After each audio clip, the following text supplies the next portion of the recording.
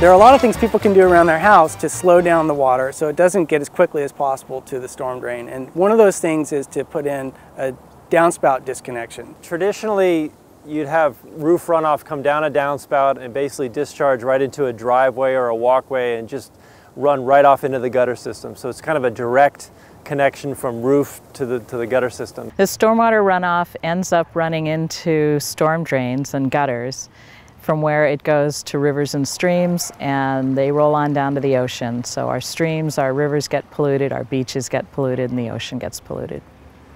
There, there's so much wasted water, um, and the fixes are so easy. There's um, there's catchment systems where instead of the rain just going off of your roof, you direct that water either into your garden or into rain barrels where the water's stored.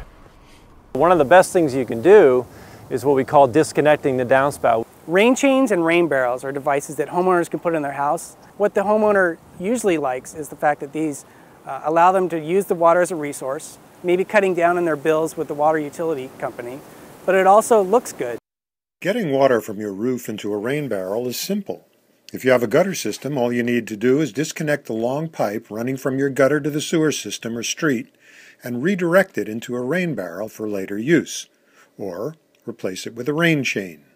A rain chain is a great way to get rain from your roof into a rain barrel or catchment system. A rain chain, which is simply a chain coming off the, the roof and basically discharging into a barrel, and that can be stored for later use. A rain chain can be hooked into an existing gutter system by removing the downspout and putting in a plastic or metal rain chain holder that snaps into your gutter.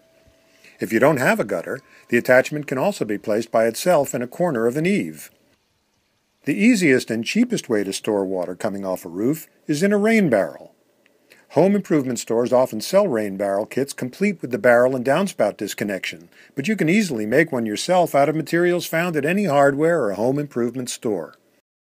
You'll also need a faucet, garden hose adapter, washers, bolts, nuts, wire mesh, tools, gloves, and safety glasses. Wearing safety glasses and gloves Take a plastic cutter and cut a one foot hole into the top back of your garbage can or barrel. You can also use a jigsaw to cut the hole. This is where your disconnected downspout or rain chain will direct the water. To keep bugs and debris out, you'll need to put wire mesh over the hole.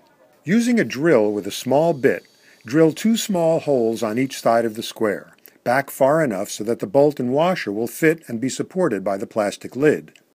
Place a washer and bolt into each hole and push the bolts through the wire mesh. Now it's time to put in the overflow valve, which should be placed about one inch below the top of your barrel. Use a 7 8 butterfly drill bit and drill to create the hole. Take a metal water hose adapter and a conduit nut and place the adapter through the hole, making sure the threads for the hose face out the front. Place the conduit nut on the part of the adapter facing inside the barrel and tighten down. Lastly, again using the 7 8 butterfly drill bit and drill, create another hole, this time about 6 inches from the bottom of the barrel. There are a variety of spigots to choose from. All have the same size mount, so use a 3 quarter inch washer to hold it in place. Turn the rain barrel on its side and put a 5 8 by 2 neoprene gasket and a half inch galvanized steel nipple on the part of the faucet inside the barrel. You're now ready to screw in a hose so that you can water your garden with the water you've collected in your barrel. If you find your barrel is getting full and it's still raining, you can use your overflow valve to connect the hose to another rain barrel. This is called daisy chaining.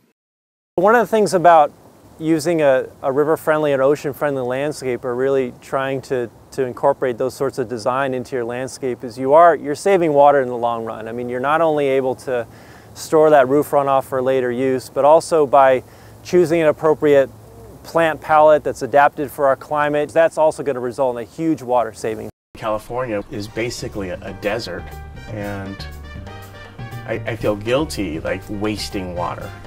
Catchment systems, they're so easy and they're so inexpensive to do and they're quick fixes. I think the thing to remember is that when we work together, we can achieve great things. We can transform neighborhoods.